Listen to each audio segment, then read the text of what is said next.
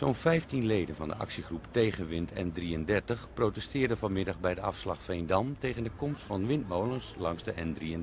De actievoerders probeerden met het aanspreken van bestuurders zieltjes te winnen voor hun strijd. Met wisselend succes. Ja, ik vind windmolens over het algemeen een beetje uitzichtbedervend. Ook dat, en het is ook nog gevaarlijk hè, voor het verkeer langs de N33. Nou, ik ben het er ook niet mee eens. De windmolens vind ik prima. Prima, prima. De windmolens vind ik prima.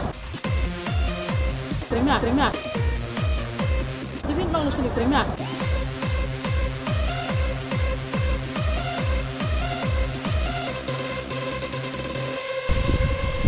De 20 manos fui premiar.